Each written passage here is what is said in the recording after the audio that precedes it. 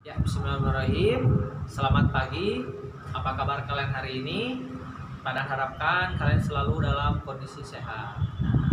Selamat berjumpa kembali dengan Pak Adnan di pelajaran PJOK untuk anak-anakku kelas 6 SD Abu Aziz. Nah, untuk pertemuan kali ini masih kita akan membahas tentang gerak dasar atau variasi dan kombinasi gerak dasar pencak silat. Sebagaimana yang Pak Adan akan ingatkan, seperti minggu kemarin, ingat, ini untuk kelas 6 menggunakan metode membayangkan. Jadi, eh, kalian membayangkan dalam posisi menyerang, membayangkan dalam posisi bertahan, seperti apa. Ya. Namun sebelum itu, atau sebelum ke materi yang lebih lanjut, Pak Adan awali hari ini dengan berdoa terlebih dahulu. Berdoa untuk mengawali pembelajaran, berdoa persilakan. Ya, berdoa selesai. Setelah berdoa, Pak dan harapkan kalian melakukan pemanasan terlebih dahulu, baik itu pemanasan statis, pemanasan dinamis, dan lari uh, bolak-balik, boleh lari berkeliling rumah, silahkan. Jelas olahraganya dilakukan di sekitar rumah saja ya, karena dengan uh, apa situasi pandemi seperti saat ini. Nah, setelah selesai melakukan pemanasan, kita masuk ke materi inti yaitu variasi dan kombinasi gerak dasar bela diri pencak silat. Nah, ada dua gerakan yang akan kalian dapatkan yaitu uh, variasi dan kombinasi tendangan dan tangkisan. Yang pertama adalah tendangan dan tangkisan kedik. Yang kedua adalah tendangan dan tangkisan siku. Nah, seperti apa, Pak? Nah, seperti yang ada di modul kalian gambarnya. Nah, namun Pak Dan akan sedikit perkuat dengan video pembelajaran kali ini.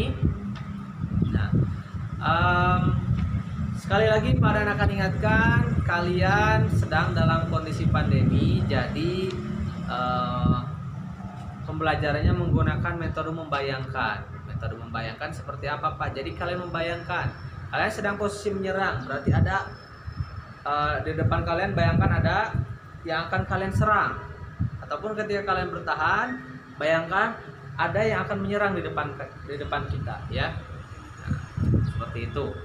Nah, yang pertama yang pada akan lakukan adalah gerak tendangan. Seperti minggu kemarin tendangan up tendangannya ke lurus. Tendangan lurus bukan tendangan ke atas tendangannya lurus up. Up. Bayangkan ada ada lawan di depan kalian ataupun teman tanding di depan kalian up mulai gantian kakinya kaki kanan kaki kiri kak? Ingat tidak pakai sepatu ya? Hop. Hop. Nah. Sudah kalian melakukan tendangan yang selanjutnya adalah tangkisan gedik. Tangkisan gedik seperti di video, uh, di gambar kurang lebih seperti ini. Hop. Hop. Ini misalkan kalian posisinya kaki kiri di depan kaki sang kiri ke sini up jadi kakinya diarahkan untuk ke bawah. Dorong up dorong ya. Up up up nah ini untuk kaki sang kiri ya up dorong ke bawah kakinya. Jadi kita leluasa untuk apa melancarkan serang. Nah itu untuk uh, gerakan variasi pertama Lalu gerakan variasi kedua hampir sama, masih menendang. Tendangnya lurus ataupun agak ke atas sedikit. Hop. Ya, kanan coba, kiri coba, kanan lagi agak ke atas ya, agak ke atas kalau ini. Kiri up. Nah, ini ya selanjutnya adalah gerak apa? Tangkisan siku tangisan siku hop hop hop ini menangkis sikunya ini menahan. Barangkali ada serangan lagi ke bawah. Atau barangkali serangannya ke bawah. Hop seperti yang digambar. Hop putar. Jadi perkenaannya ke sini. Jadi tidak fatal ke tulang rusuk kita ataupun ke area perut kita hop misalkan seperti ini Hup. Hup. Uh, ada datang menendang ke sebelah sini hup. ataupun ketika sebelah sini hup. ya Ya.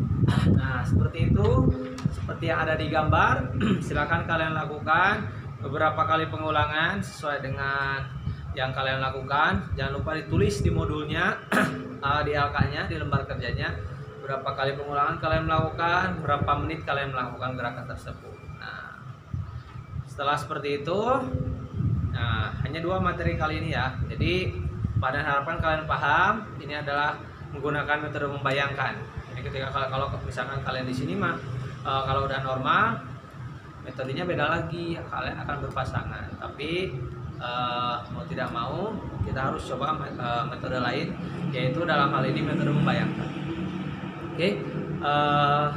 padan akhiri dengan pendinginan terlebih dahulu pendinginan dan diakhiri dengan doa. Doa dalam hati untuk mengakhiri pembelajaran. Berdoa dipersilakan ya berdoa selesai. Terima kasih atas perhatiannya. Uh, pada akhiri assalamualaikum warahmatullahi wabarakatuh